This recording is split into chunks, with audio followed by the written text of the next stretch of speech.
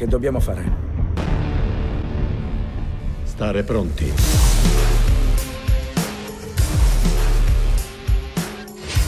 La nostra idea era di mettere insieme un gruppo di persone eccezionali.